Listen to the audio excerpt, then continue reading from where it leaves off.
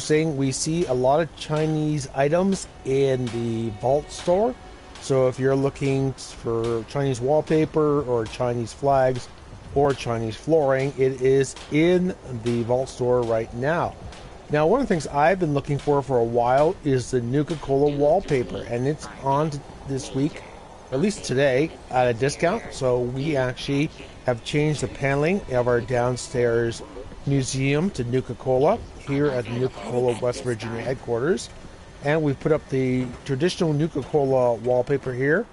And in the back area here, we are showing the Nuka Cherry wallpaper. So, we built this building to try to look like a Nuka Cola museum down here. So, I've been acquiring everything I can that's Nuka Cola, uh, either in the vault store or in the wasteland. So, we have the posters, we have the Nuka Cola clock, which is hard to come by. You have to get it from one select vendor who only occasionally has it.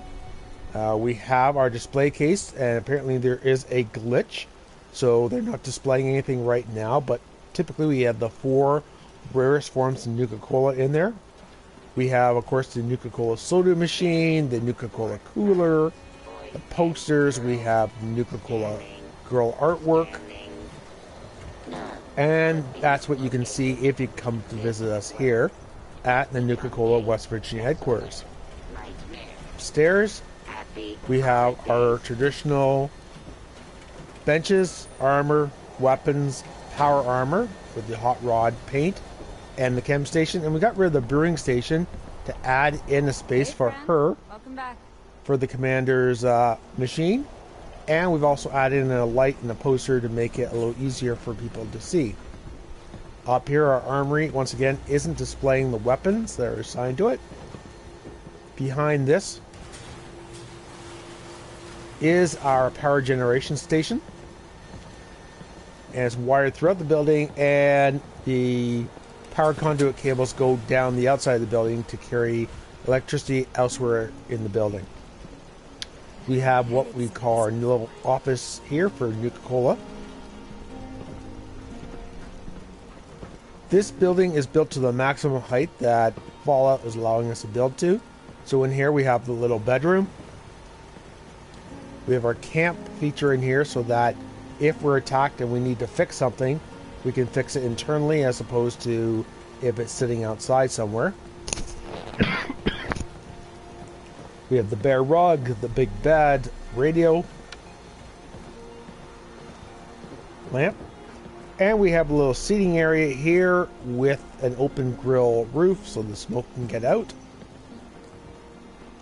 And up here, we also we have the AstroTurf down. We have the radio. We picked up the lounge chair. We actually had a problem lighting the sign hooked up to the power generator, so we actually had to put a small generator here to power that big Nuka Cola neon sign, and I put our cook cooking stove up here as well. So this will give you kind of a view from up above where we're at.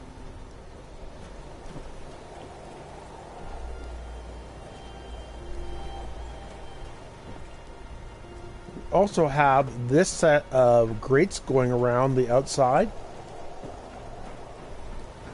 Allow us to defend the building. And just down below here, we have a walkway all the way around the building. Here's some of the advanced electrical stuff that you can see.